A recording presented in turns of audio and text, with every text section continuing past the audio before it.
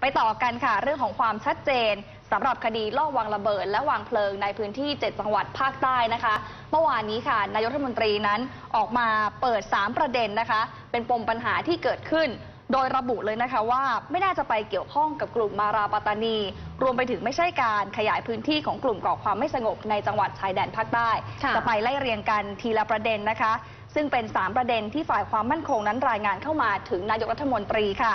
นายกรัฐมนตรีระบุนะคะว่าหนึ่งในประเด็นนั้นก็คือประเด็นของนอปป หรือว่าพักแนวร่วมปฏิวัติเพื่อประชาธิปไตยนะคะ นายกบอกว่าต้องไปดูว่ามีการละเมิดกฎหมายอะไรบ้างหรือไม่ ไม่ใช่ดูเฉพาะเรื่องของคนแก่หรือไม่แก่ แต่ต้องดูว่าทำผิดกฎหมายอะไรบ้าง ส่วนประเด็นที่ 2 ที่พุ่งเป้าไปนะคะ ถึงสาเหตุการเกิดระเบิดในครั้งนี้ คือเหตุการณ์ 3 จังหวัดชายแดนภาคใต้ แต่ยืนยันนะคะว่าไม่ใช่การขยายความขัดแย้งออกมานอกพื้นที่ ประเด็นที่ 3 ค่ะ เป็นเรื่องของการเมืองที่ไปขยายความขัดแย้งในประเด็นร่างรัฐธรรมนูญ เรื่องของการศึกษาที่ทำให้มีความเข้าใจไม่ตรงกัน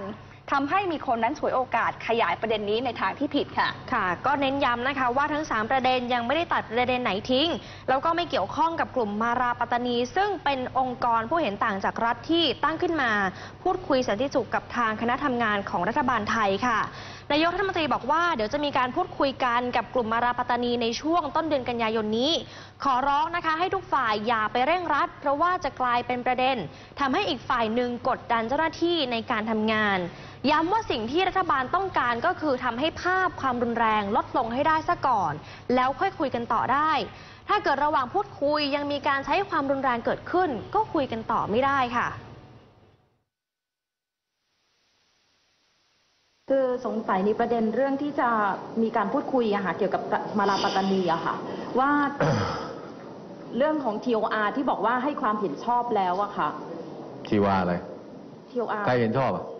ระหว่างรัฐบาลไทยกับทาง ก็ใครเป็นหัวหน้ารัฐบาลวันนี้ผมจะไม่เห็นชอบสักอย่างเลยเขาก็ต้องไปอยู่ในขั้นตอนการพิจารณามั้งเขาเป็นแต่เสนอมาให้มีชื่ออะไรที่ว่าเนี่ย ซึ่งผมก็ยังไม่ไม่ได้เห็นชอบไปนี่ก็คือจะจะมีการพูดคุยแล้วถึงจะว่ากันต่อในเรื่องของ TOR ก็ไปพูดคุยกันสิพูดคุยเขาเรียกพูดคุยไงพูดคุย Part A Part B Part A ก็คือที่เป็นทางการ Part B ก็คือกลุ่ม มันมีกลุ่มเห็นต่างจากไอ้ Part A อีกนะนั่นแหละคือกลุ่ม เนี่ยไอ้ที่เอ่ยชื่อมันก็มีอยู่ตรงนี้ด้วย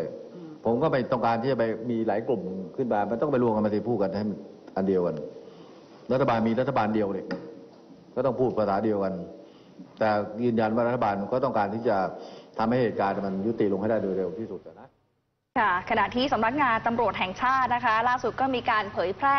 ภาพสเก็ตของผู้ต้องสงสัยในคดีลอบวางระเบิดนะคะ ในพื้นที่ 7 จังหวัดภาคใต้ค่ะ โดยสเก็ตจากภาพที่บันทึกได้โดยกล้องโทรทัศน์วงจรปิด เป็นชาย 4 คน 3 คนแรกเป็นผู้ต้องสงสัยลอบวางระเบิดที่อำเภอหัวหินนะคะ ส่วนอีกคนหนึ่งเป็นผู้ต้องสงสัยลอบวางระเบิดที่จังหวัดพังงาค่ะ ค่ะ เจ้าหน้าที่ก็ยังคงติดตามตัวอย่างใกล้ชิดนะคะ